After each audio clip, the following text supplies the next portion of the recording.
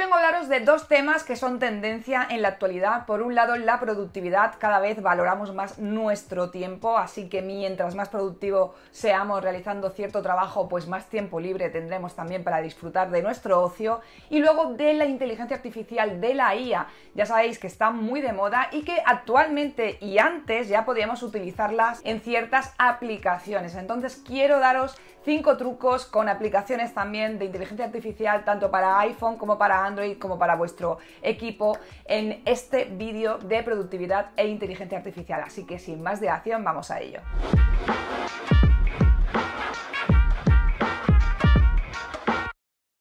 Cuando hablo de este tipo de temas me gusta que el patrocinador del vídeo tenga relación y como no, en este caso ha sido la Universidad Politécnica de Valencia, una universidad en donde vais a poder estudiar los mejores grados y másteres especializados en informática, en tecnología y un montón de estudios con muchísima proyección.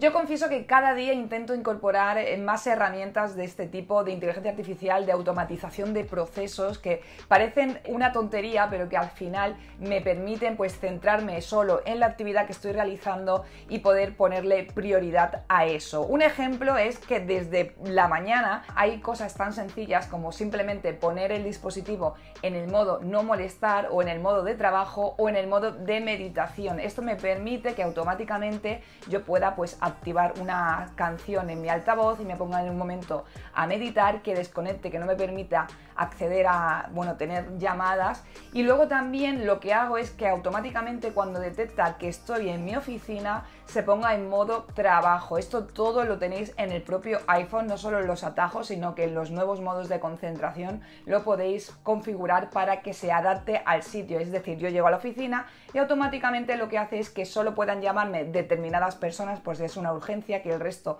no pueda llamarme. Por ejemplo, cuando me pongo a hacer vídeo, si me entra una llamada justo que estoy grabando la nota de voz en el móvil, pues me fastidiaría todo el trabajo, ¿no? Entonces automatizo este proceso y cuando estoy en el ocio, pues ya directamente pongo para que me puedan realizar llamadas, ya lo paso a otro modo que ya está previamente configurado y así me evito tener que estar pendiente del móvil, de silenciarlo, de apagarlo, de ponerlo en modo avión y un montón de cosas más. Esto creo que cada uno lo puede adaptar, incluso si os desplazáis al lugar de trabajo, eh, podéis incluso también limitar el tipo de aplicaciones a las que podéis acceder para así solo centraros en el trabajo.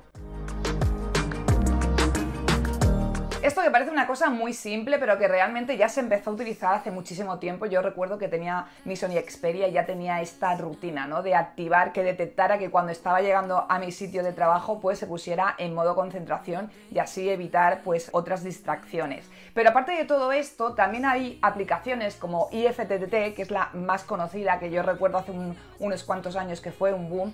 Esto sobre todo para temas de marketing, funciona mucho para temas de redes sociales, que puedo automatizar todas las aplicaciones.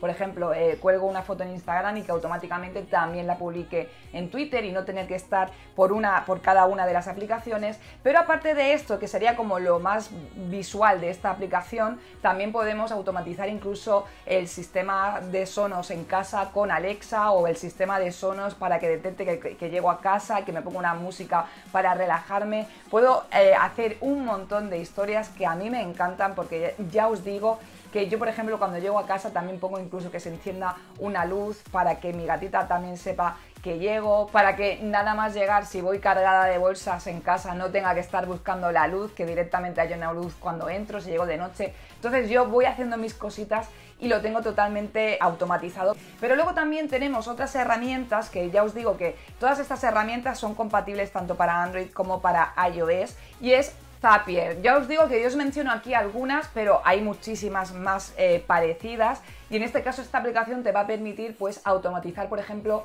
tu correo electrónico y cuando tengas una reunión o un trabajo asignado puedes hacer que se ponga en tu calendario o que se ponga también en Slack y poder automatizar ese proceso desde que recibes un mail, que se convoca una reunión o un trabajo, un proyecto, también derivarlo a otras aplicaciones para iniciar ese proyecto. Eso te ahorra muchos pasos de productividad y creo que son grandes herramientas a la hora de trabajar y no solo de trabajar, sino que también de gestionar tu propia vida, ¿no?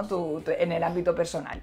Las siguientes están más de moda y es verdad que estos serían los últimos que han llegado a la inteligencia artificial de lo que, de lo que os he hablado hace tiempo que está instaurado en nuestras vidas, aunque a veces no nos damos cuenta que eso también es inteligencia artificial. Se trata de ChatGPT, que ya está disponible también en el iPhone, y también de Bing. Me gusta mucho Bing, cómo funciona en mis dispositivos Android, lo suelo utilizar, es el, buscador que más me gusta en Android de este tipo y la verdad que ChatGPT lo utilizo en el iPhone. ¿Cómo lo utilizo? Pues de una manera que me permita, pues por ejemplo, resumirme las noticias más importantes del día. Cuando me levanto, llego a mi oficina, está en modo trabajo, digo, venga, resúmeme las noticias de tecnología o de videojuegos eh, más importantes del día. Incluso a veces pongo pues el dictado de voz para que me vaya diciendo mientras yo estoy editando o estoy haciendo ciertas cosas, que me vaya contando las noticias. O simplemente también para hacer una consulta de mm, qué temas hay en tendencia ahora. Incluso también lo hago para temas personales, en plan, dame una dieta esta semana que sea sana, que tenga tal. O sea, me encanta cómo está funcionando tanto ChatGPT como, bueno, y Bing, que es más o menos, que es lo mismo. Y creo que a día de hoy tiene mucho camino, sobre todo para resumir textos, para crear guiones, pero para esto, para todo este tipo de de situaciones yo utilizo Notion AI, o sea, la aplicación de Notion que siempre me ha encantado, me ha gustado muchísimo, a ver si puedo haceros un vídeo también hablando un poquito más de ella. Me gusta muchísimo para crear guiones, para hacer un planning, para crear estructuras, no sé, es la aplicación que más utilizo en el Mac y también la podéis utilizar en dispositivos móviles. Ahora han incorporado también esta herramienta de inteligencia artificial y directamente aquí es donde pongo que me haga un resumen de, de un guion o que me genere un guion acerca de esta temática, que me amplíe un punto. Obviamente siempre tengo que eh, verificar esa información y la y también obviamente me la leo y tal, pero básicamente eh, te puede hacer un resumen de todas las noticias y a mí me parece que es algo que me ahorra muchísimo tiempo. Ya os digo que antes tenía que estar buscando mil fuentes de información y ahora pues con Notion AI la verdad que me va mucho mejor y lo hago mucho más rápido, ¿no? O incluso cuando tengo la idea de qué tengo que decir o qué quiero decir, le pregunto a ver con qué palabras decirlo para eh, pues crearme ese, ese mm, guion de alguna manera diferente. Creo que son herramientas súper importantes que cada día mm, vamos a poder sacarle más partido y bueno, estas son mis ideas principales. Pero para acabar, quiero hablaros también de dos aplicaciones que utilizo muchísimo en el iPhone de fotografía, por un lado Lensa y por otro Photolip. Creo que ya os he hablado un poquito de ellas en otros vídeos porque son aplicaciones que me encantan, pero me gusta mucho cómo está la inteligencia artificial, cómo la utilizas. Sé que hay otras aplicaciones que te permiten generar estos dibujos con inteligencia artificial, pero a mí estos me parecen muy útiles para, muchas cosas y creo que también funciona muy bien. Lensa básicamente la utilizo para mejorar la fotografía y no perder tanto tiempo en estar editando esto y lo otro. Directamente la pongo aquí por inteligencia artificial, pues consigo mejorar esa fotografía y obtener el resultado que a mí me gusta. Obviamente también podéis cacharrear y tocarlo y configurarlo a vuestro gusto, pero es una manera de hacerlo rápido, sobre todo cuando estoy fuera y tengo que publicar algo urgente en redes sociales, me ahorro mucho tiempo. Pero luego también tenemos Photolip y me gusta sobre todo para crear, mm, no miniaturas porque no lo utilizo para YouTube, aunque podría perfectamente, pero sí que para crear imágenes, logos, em, cosas diferentes, incluso las imágenes que os decía por inteligencia artificial de dibújame un gatito eh, púrpura y que sea realista o que sea modo de dibujo. Me gusta muchísimo también esto, creo que tiene un montón de aplicaciones para hacerlo de manera rápida.